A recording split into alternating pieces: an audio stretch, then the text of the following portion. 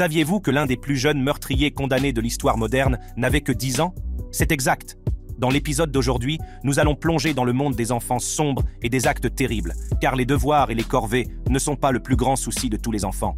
Des meurtres commis de sang-froid aux tactiques de manipulation qui pourraient donner du fil à retordre aux criminels chevronnés, nous allons nous pencher sur l'enfant le plus maléfique du monde. Sans plus attendre, plongeons dans l'histoire. Ashley Martinson. Vous êtes-vous déjà demandé comment des vies apparemment ordinaires peuvent basculer dans l'inimaginable? 2015. Une année qui marquera à jamais Ashley Ann en tant que sujet de manchettes internationales. Qu'a-t-elle fait? Le lendemain de son 17e anniversaire, Ashley Ann Rose Martinson a commis un crime qui défie l'entendement elle a tragiquement mis fin à la vie de sa propre mère et de son beau-père. Je sais, c'est une révélation qui fait froid dans le dos. Le monde entier n'a pas pu détourner le regard lorsque son casse a fait les gros titres à l'échelle internationale. Et, croyez-le ou non, elle a par la suite reconnu sa culpabilité non pas à un, mais à deux chefs d'accusation d'homicide volontaire au second degré. Résultat, une lourde peine de 23 ans d'emprisonnement qui a bouleversé sa vie à jamais. Mais revenez un peu en arrière et vous découvrirez une vie apparemment ordinaire. Avant ce jour sombre, Martinson vivait sous le même toit que sa mère, son beau-père, ses deux demi-sœurs et sa demi-sœur. Selon ses jeunes frères et sœurs, Martinson aurait été victime de violences verbales de la part de son beau-père, Thomas Tony Ayers, jusqu'à son assassinat. Ce dernier avait des antécédents de violences verbales et physiques à l'égard de sa femme et de ses filles biologiques. Il est choquant de constater que Madame Martinson a également affirmé avoir été physiquement maltraitée et violée pendant deux ans par un ancien petit ami de sa mère. Les experts ont estimé qu'elle souffrait d'un syndrome de stress post-traumatique et de dépression. Il est essentiel de noter que le passé criminel du beau-père de Martinson comprenait des condamnations pour enlèvement, agression sexuelle et violence domestique, entre autres. Même si la loi lui interdisait de posséder des armes à feu, il avait toujours un assortiment d'armes chargées à portée de main dans la maison. Tout a commencé lorsque la mère et le beau-père d'Ashley Ann Rose Martinson ont découvert sa relation secrète avec un homme de 22 ans, Ryan Sisko. Des mots ont été échangés, et la situation s'est envenimée au point que les parents ont envoyé des messages menaçant Cisco de poursuites judiciaires. La tension était palpable. Cette nuit-là, elle a écrit un message inquiétant sur sa page Facebook, exprimant son désir de tuer son beau-père. Voici ce qu'elle a écrit. Il va la tuer si elle ne part pas bientôt. J'ai tellement envie de le tuer, de prendre une de ses armes et de lui faire sauter la cervelle. Le lendemain, Martinson a vu son beau-père battre sa mère, et dans un accès de rage, elle l'a tué avec un fusil de chasse. Lorsque sa mère est venue enquêter sur les coups de feu, Martinson l'a tué avec un couteau. Après les meurtres, Martinson a enfermé ses jeunes frères et sœurs dans un placard avec de la nourriture. L'un des frères et sœurs de Martinson a vu le corps de Thomas et ne l'a pas cru lorsqu'elle a nié l'avoir tué. L'histoire de Martinson a pris un tournant lorsque la déclaration de son frère cadet à la police s'est opposée à la sienne. Elle a ensuite déclaré que l'arme était destinée à une tentative de suicide, mais Thomas Ayers l'a interrompu. La capture de Martison et de Cisco dans l'Indiana a eu lieu après que l'aîné de ses demi-sœurs a alerté la police. Devant le tribunal, Madame Martinson a été accusée d'homicide au premier degré et de séquestration, mais elle s'est contentée d'un meurtre au deuxième degré dans le cadre d'un accord de plaidoyer conclu en 2016. Elle a écopé de 23 ans de prison et de 17 ans supplémentaires sous surveillance. L'accusation réclamait 40 ans de prison. La défense a plaidé pour 8 ans en invoquant la violence familiale le juge Michael Bloom a estimé que son passé ne justifiait pas ses actes. Aujourd'hui, elle se trouve à la prison de Taichida, dans le Wisconsin, où elle se dit heureuse et en sécurité, et a même obtenu son diplôme d'études secondaires. En 2017, elle a tenté d'obtenir une peine plus légère, mais sa demande a été rejetée. En 2019, son appel pour un nouveau procès a également échoué. Anissa Weier et Morgan Geyser. Oh, le coup de couteau de Slenderman C'est une histoire effrayante qu'il est difficile d'oublier. C'était à Waukesha, dans le Wisconsin, en 2014. Deux jeunes filles de 12 ans, Anissa Weier et Morgan Geyser, ont mis au point un plan effrayant pour vaincre, tenez-vous bien, un personnage fictif nommé Slenderman. Oui, vous avez bien entendu, un personnage fictif qui ressemble à votre pire cauchemar sur des échasses. Il a un visage blanc centré et est aussi maigre qu'une brindille. Le personnage de Slenderman a commencé par une photo effrayante sur les forums de Something Awful, mais il a eu sa propre vie, fanfiction, dessin, tout le tralala. Les gens se sont emparés de cette chose et l'ont exploitée, créant des histoires effrayantes. Revenons-en aux filles. Elles entraînent leur ami Peyton Leutner dans une partie de cache-cache, mais ce n'est pas un jeu d'enfant. Elles l'emmènent au fin fond de David's Park, une forêt près de Waukesha, et la poignardent 19 fois. Pouvez-vous le croire? 19 fois. Tout cela pour faire plaisir à ce monstre inventé qui traîne soi-disant dans les zones boisées. C'est comme une histoire d'horreur qui est devenue bien trop réelle. Les agresseurs ont maintenu Peyton Leutner au sol, et l'ont sauvagement poignardé à 19 reprises sur tout le corps, à l'aide d'une lame mesurant 5 pouces. Miraculeusement, elle a survécu bien que deux de ses coups aient touché des organes vitaux. Alors, écoutez bien. Peyton Leutner a réussi à se hisser jusqu'à une route voisine après avoir enduré cette horrible épreuve. C'est là qu'un cycliste l'a aperçu et a appelé les secours. Passons maintenant à Anissa Wire et Morgan Geyser. Environ 5 heures plus tard, on les retrouve près d'un magasin de meubles sur l'Interstate 94, à près de 8 km de là. Et devinez ce qu'il y avait avec elles Le couteau qu'elles ont utilisé. Ils étaient en mission, voyez-vous. Pendant les interrogatoires, Morgan n'a montré aucun remords, tandis qu'Anissa a semblé quelque peu coupable. Mais tous deux pensaient que leur acte horrible était une sorte d'hommage à Slenderman. Et Peyton, elle a quitté l'hôpital une semaine seulement après avoir survécu à cet acte impensable.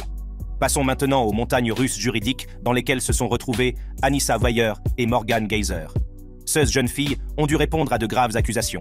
Je parle de tentatives d'homicide au premier degré.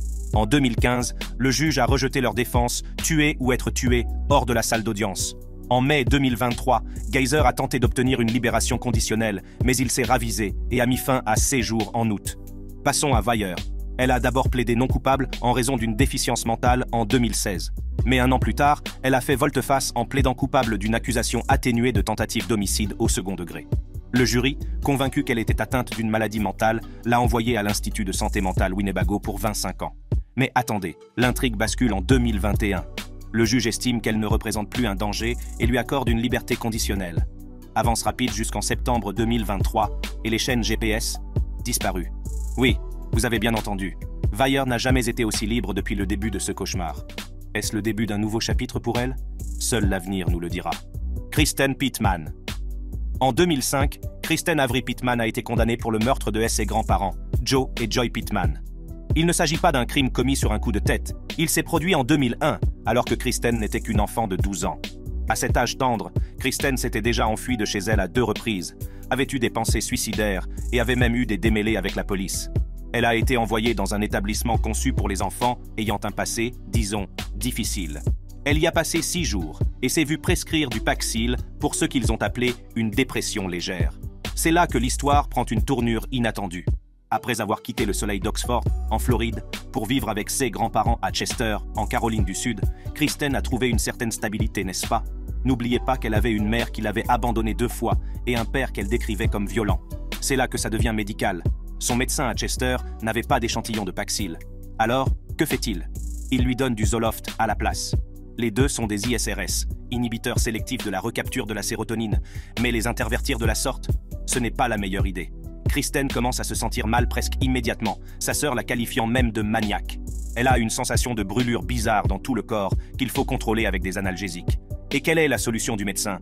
Augmenter la dose de Zoloft de 25 à 50 mg par jour. Et laissez-moi vous dire que le Zoloft a une liste interminable d'effets secondaires potentiels chez les enfants, y compris, mais sans s'y limiter, une aggravation de la dépression, des rêves anormaux et même des hallucinations. Alors oui, c'était comme ajouter de l'huile sur le feu. Le 28 novembre 2001, la journée de Kristen devenait déjà incontrôlable. Elle se bagarre dans le bus scolaire, étrangle un autre élève et perturbe même un pianiste à l'église. Ce soir-là, après que son grand-père lui a administré une correction pour avoir tenté de quitter sa chambre, elle fait quelque chose d'inimaginable. Elle entre dans la chambre de ses grands-parents et utilise leur fusil de chasse, celui qu'ils lui ont appris à utiliser, pour mettre fin à leur jour. Et elle ne s'arrête pas là. Elle met le feu à la maison à l'aide d'une bougie et de papier. Elle s'empare des clés de la voiture, des armes à feu de ses grands-parents, de son chien et d'un maigre pécule de 33 dollars avant de prendre la route. Mais elle ne va pas loin. Deux comtés plus loin, elle est rattrapée après s'être enlisée.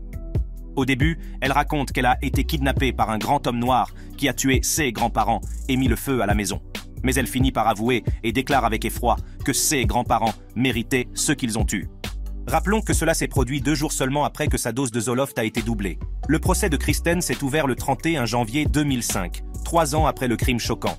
La salle d'audience est en proie à des questions complexes, qu'il s'agisse de l'état mental de Kristen, en raison de son âge, ou du rôle que le Zoloft a pu jouer dans ses actes. La question s'est également posée. S'agit-il d'un meurtre ou d'une forme moins grave d'homicide? Mais au fur et à mesure que le procès avançait, le récit s'est concentré sur le facteur Zoloft les procureurs ont cherché à démontrer que Kristen était pleinement consciente de la gravité morale de ses actes, citant ses plans prémédités pour échapper à l'incendie qu'elle avait allumé et sa fuite calculée. Le 15 février 2005, Kristen a été reconnue coupable et condamnée à une peine de 30 ans de prison. Mais en décembre 2010, elle a conclu un accord de plaidoyer, plaidant coupable d'homicide volontaire. Sa nouvelle peine? 25 ans, y compris le temps déjà purgé. Pendant son incarcération, Madame Pittman a changé de nom et s'appelle désormais Kristen Avery Pittman. Amarjit Sada. Cette fois, c'est une histoire à vous faire froid dans le dos. Voici Amarjit Sada, réputé être le plus jeune tueur en série du monde. Il a commis trois meurtres présumés, tous avant son neuvième anniversaire. Amarjit est originaire d'un petit village du Bihar, en Inde, appelé Mushahar. La vie est dure. Ses parents se débrouillent tant bien que mal, et lorsqu'il avait 7 ans, ils ont eu une autre petite fille, une bouche de plus à nourrir. Amarjit était plutôt du genre calme. Il aimait les aventures en solitaire, grimper aux arbres et se promener dans le quartier. Un jour, sa tante passe chez lui. Elle a un nouveau travail en ville et doit laisser son petit à la famille pour un moment. Elle s'en va, et la mère d'Amarjit se rend au marché local. C'est là que les choses se gâtent. Amarjit doit garder sa petite sœur et son cousin. Selon les rapports, il commence à s'amuser avec le bébé, pincement, gifle, et trouve amusant qu'il pleure. Mais ensuite, il passe à un autre niveau, un niveau horrible. Il met ses mains autour de la gorge du bébé, lui coupant la respiration. Le bébé recommence à pleurer, haletant. Et nous parlons ici d'un enfant de 8 ans. On se demande alors ce qui peut pousser quelqu'un d'aussi jeune à agir de manière aussi terrifiante. Après avoir pris la vie de son cousin, Amarjit a caché le corps du nourrisson dans l'herbe et est rentré chez lui. Sa mère a été horrifiée lorsqu'il a révélé ses actes. Son père l'a puni physiquement. Mais, chose incroyable, ils n'ont pas contacté la police et ont plutôt inventé une histoire pour la tante. L'acte suivant d'Amarjit a impliqué sa sœur de 8 mois. Il l'a étranglée pendant que leurs parents dormaient. Son oncle a noté que certains membres de la famille étaient au courant de ces événements, mais qu'ils les ont balayés d'un revers de main en les qualifiant de problèmes familiaux. Personne n'a rien signalé jusqu'à ce qu'Amarjit commette un autre acte horrible en 2007, cette fois sur une fillette de 6 mois nommée Kouchbou. Sa mère a déclaré aux autorités qu'elle avait laissé le bébé dans une école et qu'elle avait constaté sa disparition à son retour. Quelques heures plus tard, Amarjit a avoué son acte sinistre et a conduit les habitants à l'endroit où il l'avait enterré. Finalement appréhendé par la police, Amarjit a avoué les meurtres antérieurs de sa sœur et de sa cousine.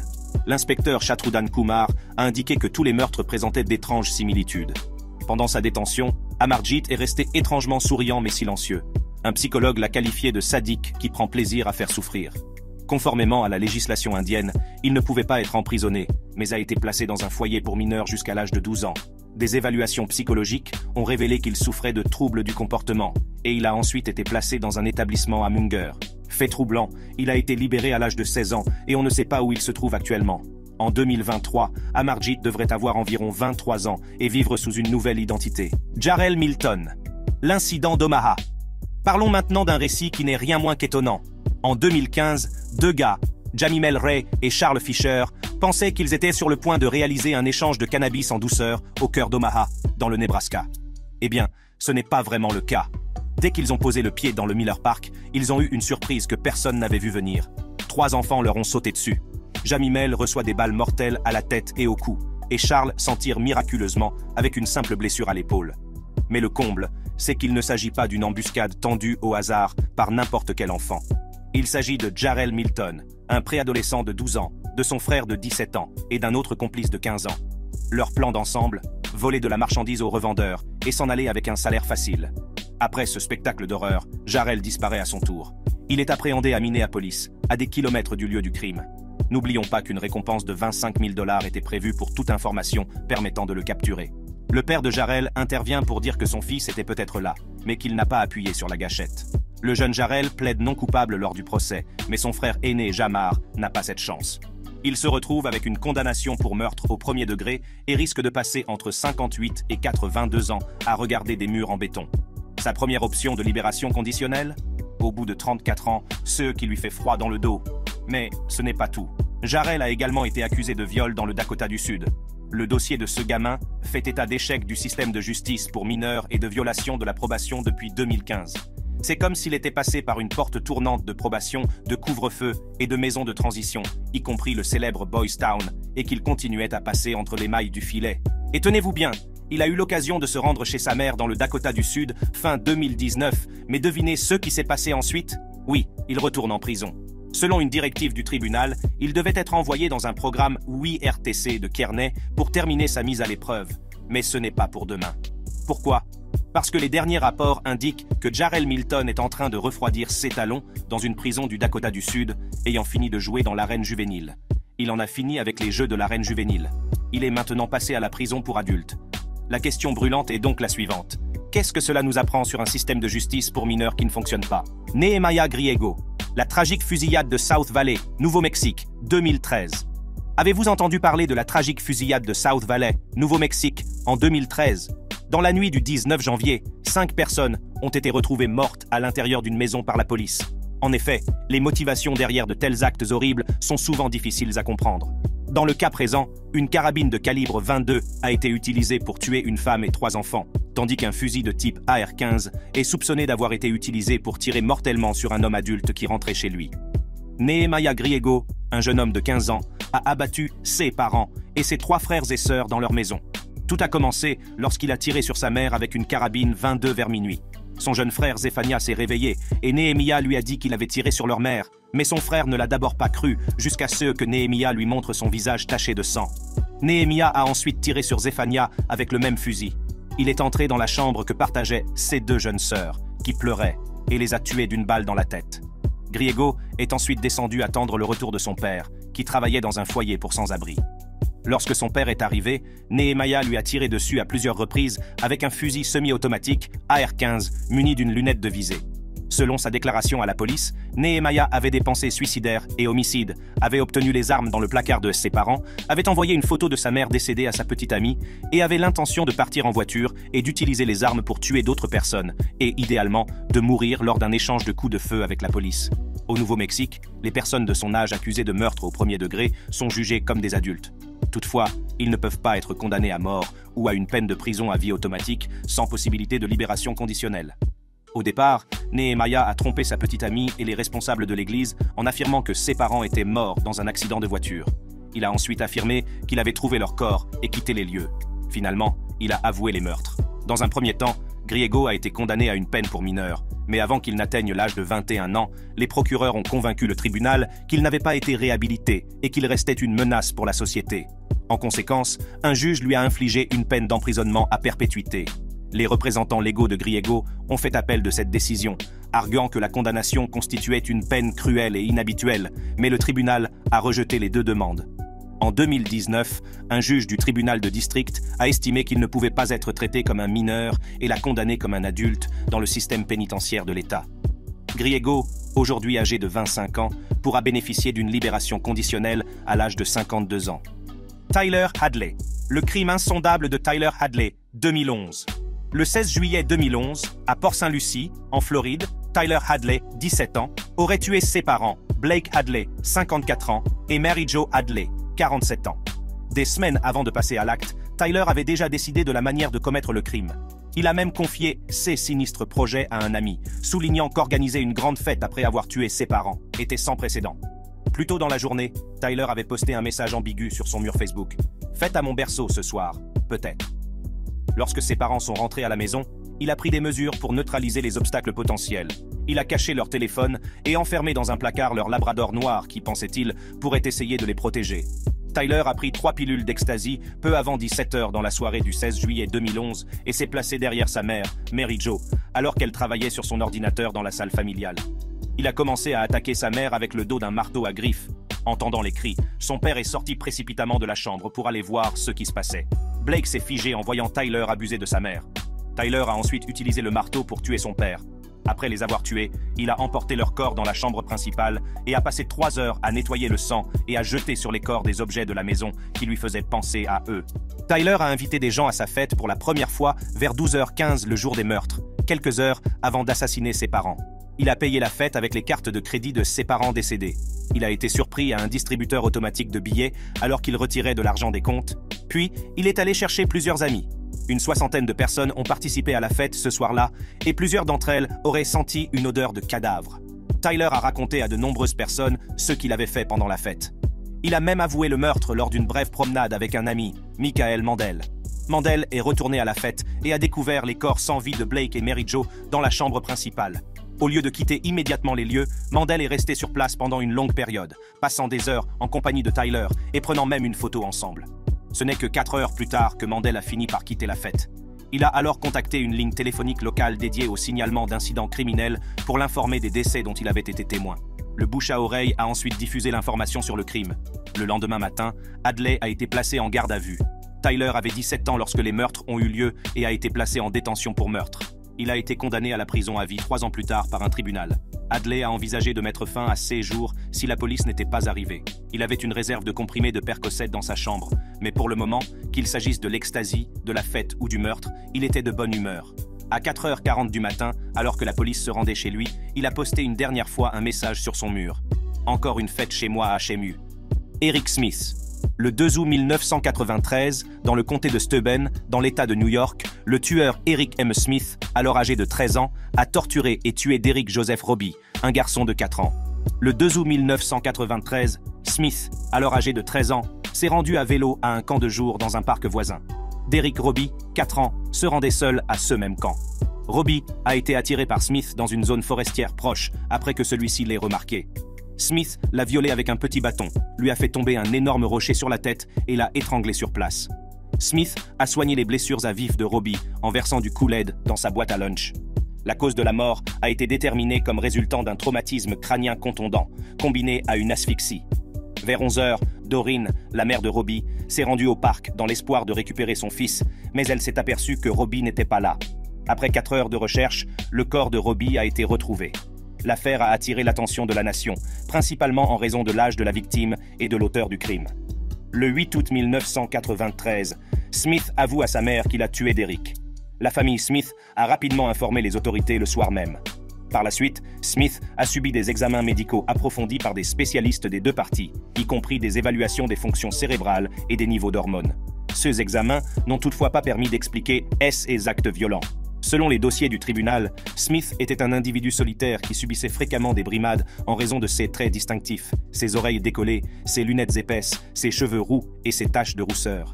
Un psychiatre de la défense a diagnostiqué chez Smith un trouble explosif intermittent, une maladie mentale connue pour provoquer des comportements violents et imprévisibles.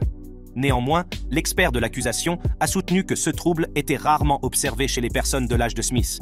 En août 1994, Smith, âgé de 14 ans, a été jugé en tant qu'adulte et a été condamné à une peine de 9 ans d'emprisonnement à perpétuité. Il a d'abord été placé dans un centre de détention pour mineurs, mais après avoir atteint l'âge de 21 ans, il a été transféré dans une prison pour adultes. Près de 9 ans après avoir commis son crime, Smith a fait l'objet d'une première audience de libération conditionnelle, mais sa demande a été rejetée.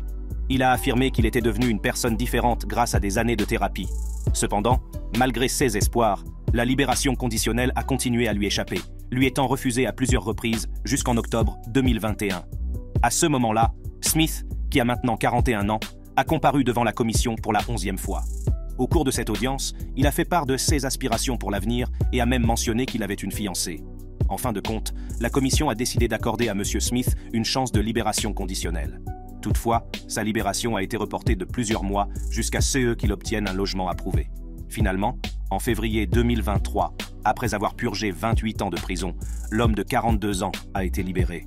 Aujourd'hui, il jouit de sa liberté en tant qu'habitant du Queens, à New York. John Venables et Robert Thompson le 12 février 1993, deux garçons de 10 ans, Robert Thompson et John Venables, ont enlevé James Patrick Bulger, un enfant de 2 ans originaire de Kirkby, Merseyside, en Angleterre, puis l'ont torturé et tué.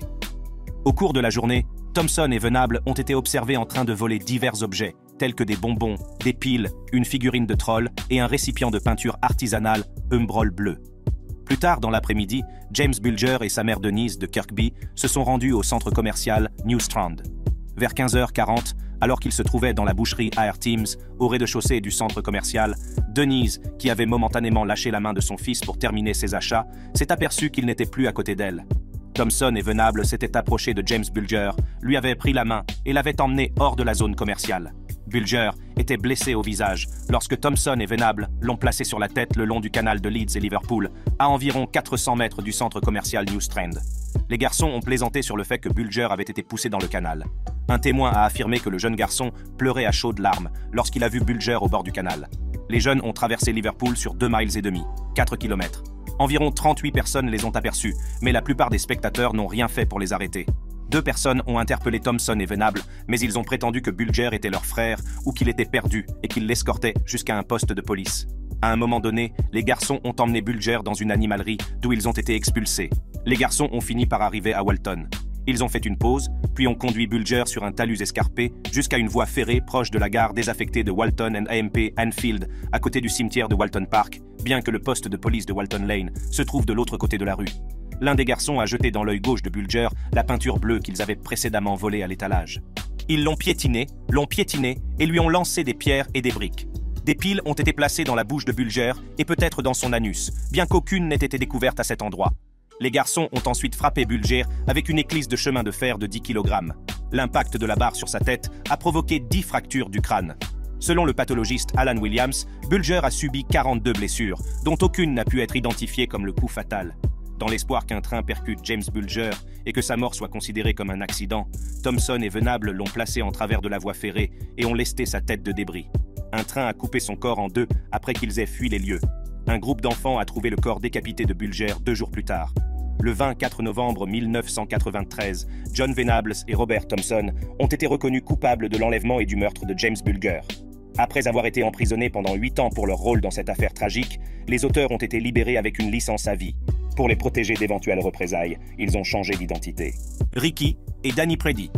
Le 27 novembre 2000, Damilola Taylor, un écolier nigérian âgé de 10 ans, a été victime d'une attaque mortelle en plein cœur de Londres ce qui a propulsé son histoire tragique sous les feux de la rampe et en a fait l'un des meurtres les plus médiatisés du Royaume-Uni.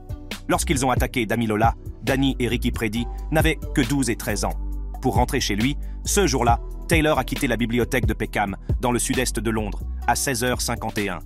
En arrivant dans le quartier de North Peckham, il s'est fait une entaille à la cuisse gauche, sectionnant une artère. Il a titubé jusqu'à une cage d'escalier, est tombé et s'est vidé de son sang en une trentaine de minutes. Alors qu'il se rendait à l'hôpital en ambulance, il était encore en vie. Danny et Ricky Preddy, qui appartenaient au gang des Young Peckham Boys, terrorisaient les quartiers du sud de Londres. Danny aurait dû faire l'objet d'un couvre-feu de 24 heures dans un foyer des services sociaux lors du meurtre de Damilola, car il ne quittait que rarement la surveillance ou la garde à vue. Quatre semaines après le meurtre, il a fait l'objet d'une ordonnance de surveillance pour deux agressions raciales aggravées et une agression dans l'intention de commettre un volume. Il a désobéi à l'ordre. Ricky qui avait 13 ans au moment du meurtre, avait des antécédents de volume et de violence. En outre, on s'attendait à ce qu'il soit le responsable au moment où l'écolier a été tué. Il a fallu 6 ans et 3 procès après la mort de Damilola pour trouver et condamner ces assassins. On peut donc se demander où sont Danny et son frère aujourd'hui. Voici ce qu'il en est. Danny a été libéré en 2011, bénéficiant d'une libération anticipée, après avoir purgé seulement 5 ans de sa peine de 8 ans. Et son frère? Il a bénéficié d'une libération conditionnelle encore plus tôt, 4 ans seulement après avoir purgé sa peine de 8 ans. Mais attendez, ça ne s'arrête pas là. Il est retourné derrière les barreaux en mars 2011 pour avoir enfreint les conditions de sa licence. Et pendant qu'il y était, il s'est battu avec un autre détenu. Mais la commission des libérations conditionnelles a décidé de le libérer le 25 janvier 2012. Vous vous rendez compte? Un peu plus de deux semaines plus tard, il est de nouveau en prison pour avoir enfreint les règles de la liberté conditionnelle, traînant dans des endroits où il n'est pas censé aller et rendant visite à d'anciens amis du gang. Avance rapide jusqu'en novembre 2019. Ricky traverse Wembley lorsque les policiers lui font signe de se garer. Que fait-il? Il fait marche arrière dans la voiture de police, blesse une policière, puis s'enfuit à toute vitesse. Les policiers finissent par l'attraper et il doit maintenant passer 4 ans en prison et 12 ans d'interdiction de conduire à sa sortie de prison. Incroyable, non? Et voilà. Nous nous sommes tous interrogés sur la nature du mal. N'est-il ou se fabrique-t-il? Commentez ci-dessous et cliquez sur les cartes qui s'affichent sur votre écran pour découvrir d'autres vidéos de ce type.